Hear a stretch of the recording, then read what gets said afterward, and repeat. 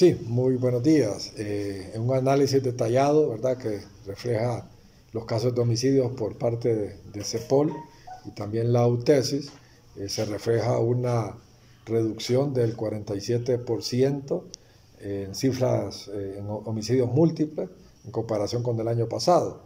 Eh, esto nos da cifras oficiales, ¿verdad?, en una materia de reducción de homicidios a 144 fallecidos menos, ¿verdad?, que el periodo 2019.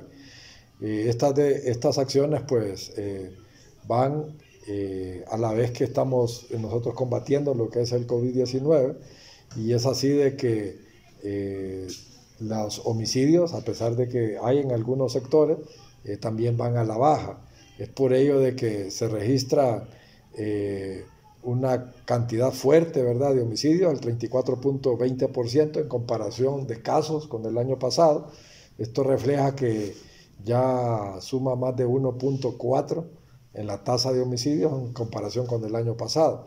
Así de que la Policía Nacional va a seguir trabajando, orientando eh, las operaciones eh, para poder bajar eh, muchos delitos y también pues en la búsqueda del crimen organizado.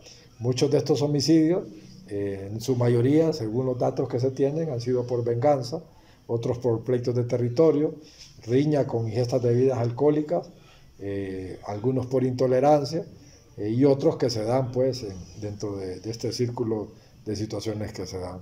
Así de que nosotros vamos a seguir trabajando, analizando cada uno de ellos para eh, tener las mejores perspectivas en la lucha contra este tipo de situaciones.